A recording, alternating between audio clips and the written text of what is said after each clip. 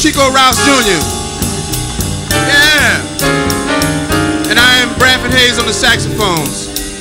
Thank you very much for having us down here. We certainly hope you've enjoyed us. We got to make it back on the road to another gig. Thank you very much. Have a lovely evening.